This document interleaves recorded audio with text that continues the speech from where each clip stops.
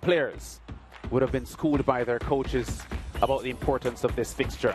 Dunbeholden making two changes from last week's starting roster that lost 3-1 to Cavalier. Ricardo Thomas and Brand Burkett in for Akimo Jones and Chavoy Watkins. Stephen Barnett, seven goals so far this season in the number 17 shirt, their leading scorer.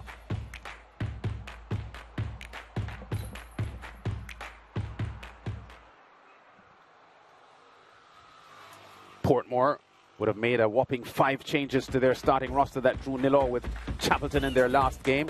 Gawain Austin, Tim Shaw, Akeem Mullings, and the St. Lucians, Alvinus Myers and Lester Joseph in for Rodolph Austin, who's out on cards. Saquon Satra, Lamar Walker, Jaheim Fraser, and Tevin Scott. Walker, Chris Taylor, surprisingly, on the bench today for Portmore. Well, he's not even listed on the bench, Lamar Walker is. He is actually on the bench, though. Yeah. Second match of the double header at the Aschenheim Stadium. Emilio Rosso cracks one from left side to the near post, but Damien Hatt gets in the way and blocks the Portmore number six, who goes again for a strike here from a spot kick. Dunbeholden had their moments, that one headed over the top. Here comes Akeem Mullings with a cross. Header attempted by Marshall. Slides wide on the left upright. Damien Hart appeared in goal to have had it covered though. Dunbeholden pressing forward. Brown with a header on goal, but team. Scott out muscles Fabian McCarthy here for the ball. Slides the ball between the legs of Damien Hart. And that gave Portmore the 1 0 lead that they worked hard for. Scott's second goal of the season, first goal in four months in the Premier League. Going for more glory here, Scott, but the header tame. Header on goal by Young, but amazingly he misses the target from the six-yard box. Walsh with a terrific strike. Damien Hatt with a fine save for the left-sided dive. Marshall cracks one from 22 yards out, but it goes high. Dunbeholden looking for the rebound.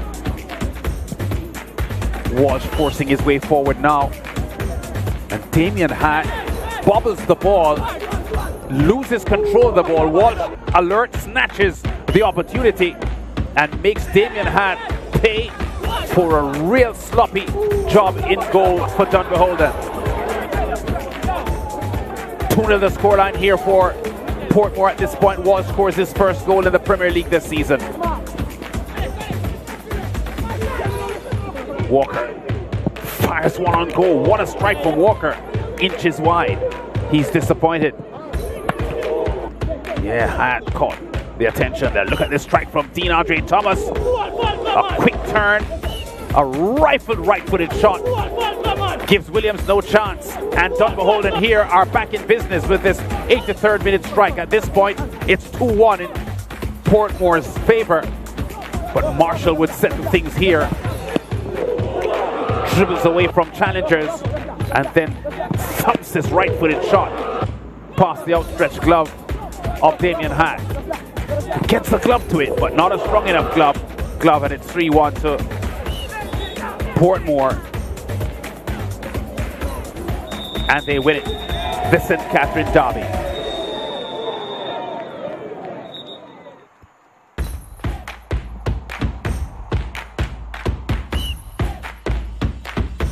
Eight shots attempted on goal by Dunbeholden, three on target. 15 attempted by Portmore, six on target. 33 fouls in the match, 20 of them committed by Portmore players. Four yellow cards in the match, three of them for Portmore players. Six corners Portmore forced to Dunbeholden's two. Portmore's Williams called on to make two saves. Dunbeholden's goalkeeper making three saves, Damien Hatt. And it's Dunbeholden who had more ball possession at 57% but the score at the top is the one that counts. Portmore 3-1 over Dunbeholden in the St. Catherine Derby.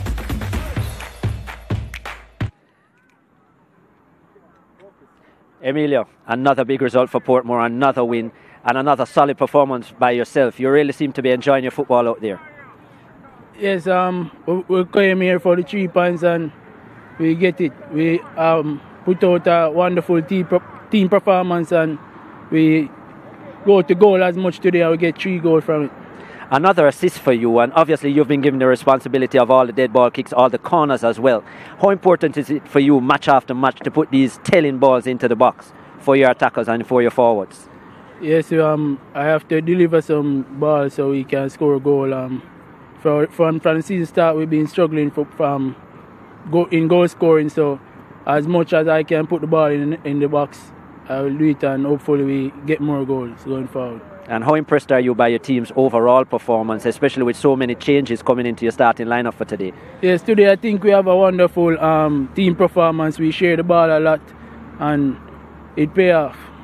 All right, Emilio, congrats on another solid performance and an assist as well. um, go well and get some rest. Yeah, thank you.